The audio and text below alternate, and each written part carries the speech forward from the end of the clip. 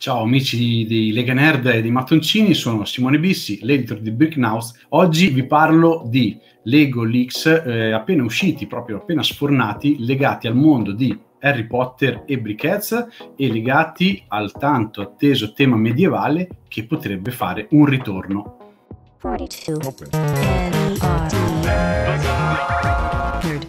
Parlando quindi dei leaks e dei rumors legati al mondo di Harry Potter che quest'anno festeggia i vent'anni della saga, abbiamo questa scatola che è venuta fuori in un negozio eh, della Repubblica Ceca, eh, quindi eh, senza alcun marchio di eh, confidential, legata a, eh, alla serie, al tema Briquettes che sembrava morto ma in realtà lo hanno un po' riciclato per farci altro, per farci questi piccoli oggettini tipo regalo o, o similari, dove troviamo non una, non due, ma ben quattro figure legate al mondo di Harry Potter e eh, fondamentalmente al, al, primo ai primi due episodi della serie.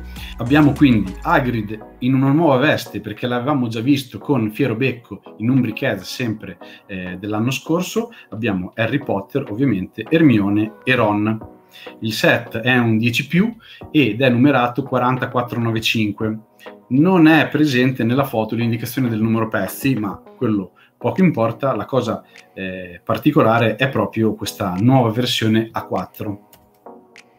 Qui vediamo Harry Potter con eh, la classica eh, cicatrice sulla fronte e i due occhialoni giganti.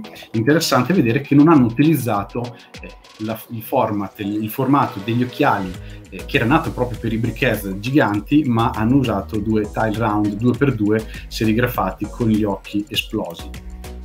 Abbiamo Hermione e Ron ed infine Hagrid appunto con il suo ombrello rosa e qui lo vediamo nella versione del set 40412 con Fiero Becco che era uscito appunto l'anno scorso.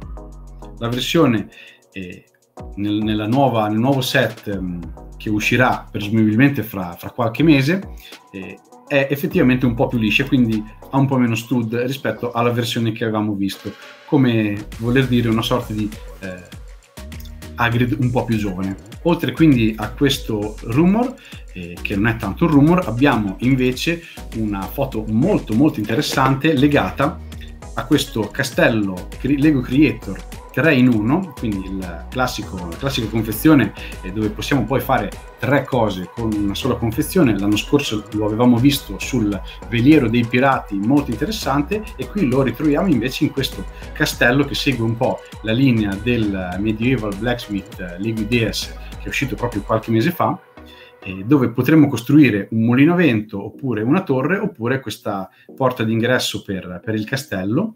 Il codice del set è 31120 in questo caso appare ancora la, il marchio confidential, quindi ancora in fase confidenziale questa immagine e tutti i dati relativi, però l'utente di Instagram che l'ha condivisa poi ha indicato che sarà disponibile dal primo di giugno e il costo sarà 100 dollari.